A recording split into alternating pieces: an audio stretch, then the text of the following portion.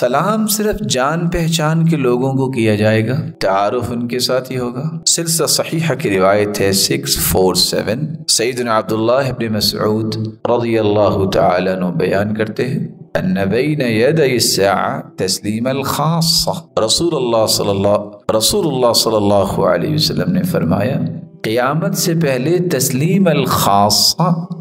سلام صرف خاص لوگوں کو ہی کیا جائے گا۔ حالانکہ رسول اللہ صلی اللہ علیہ وسلم نے فرمایا کہ افش السلام کئی تسلم سلام کو عام کرو تاکہ تمہیں سلامتی حاصل ہو۔ افش السلام کئی تعلو، سلام کو پھیلاؤ تاکہ تمہیں بلندی عطا کی جائے۔ تم بلندیاں اختیار کرو۔ اور آپ صلی اللہ علیہ وسلم نے یہاں تک فرمایا، من بدأ بالکلام قبل السلام فلا تجیبو جو بات کرتے وقت سلام نہیں کہتا، اس کی بات کا جواب ہی نہ دو۔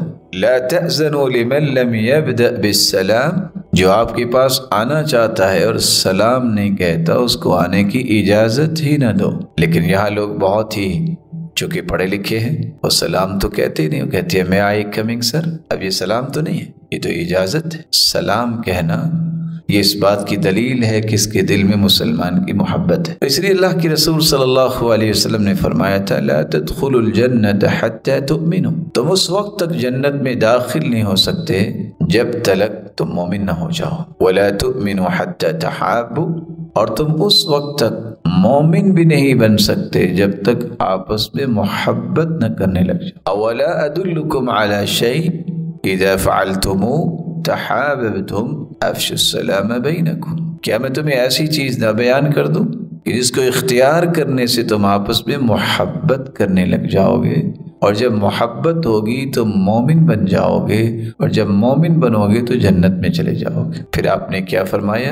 افش السلام، سلام کو عام کرو۔ اسی لیے صحابہ کرام کا یہ طرز عمل تھا کہ اگر وہ اکٹھے جا رہے ہوتے تو دیوار، درخت، کوئی پتھر آ جاتا۔